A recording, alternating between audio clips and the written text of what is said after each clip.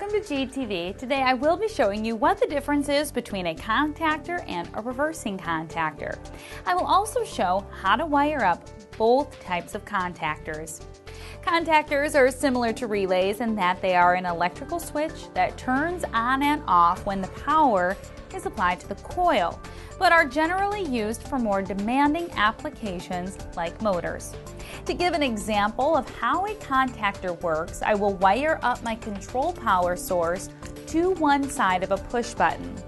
I will then connect a different wire to the other side of the push button.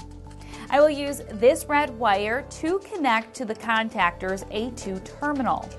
I will take my neutral wire from my control power source and connect this to the contactor's A1 terminal. This will complete the circuit so when the push button is depressed, the coil will energize and close the contacts.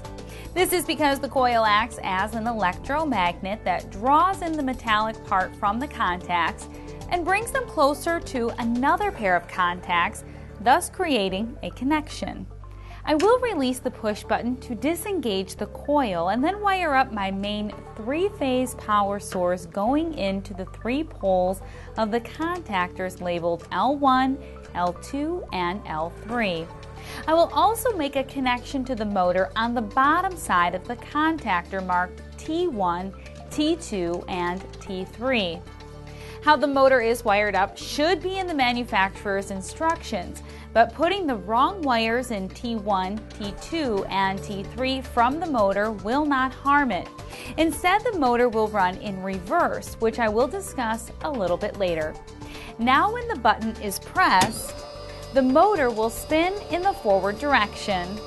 I will now remove the control power and let the motor reach a stop. I will also shut off power from the circuit breaker further up the line from the contactor so that there is no live power to the contactor. To make a reversing contactor, I will need the same type of model contactor and an interlock device. The interlock device will prevent the contactors from turning on at the same time.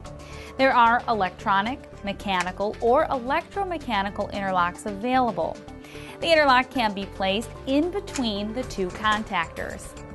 I can wire up the second contactor's coil to a separate push button than the previous one. The second push button has one side jump to the other push button's power source, and the second contactor's A1 is jumped with the first contactor in order to reduce the need for an additional control power source.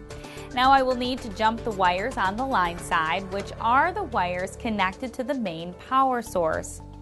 These should be the same on both contactors, so I will jump L1 with L1, L2 with L2, and L3 with L3.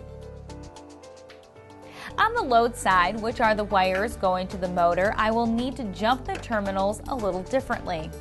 I will jump T1 with T3, T2 with T2, and T3 with T1.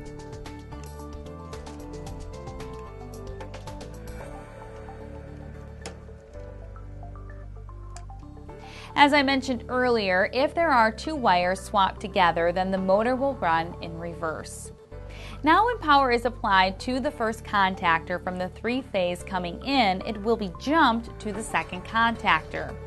When the second push button is engaged, the coil actuates and the power will go through contacts.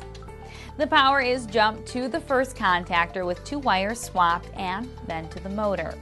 Since T1 and T3 are swapped with the power coming in, the motor will run in reverse. I will simulate this by applying power to the contactors and pushing the second push button for the motor to go in reverse.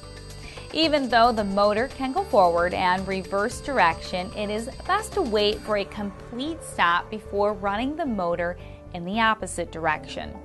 This can prevent the motor from drawing too much current, which could cause damage to the equipment and potential harm to people. The motor speed also does not vary in this setup and will run at the full speed it is rated for. Contactors and reversing kits, along with thousands of other products and services, are available at galco.com.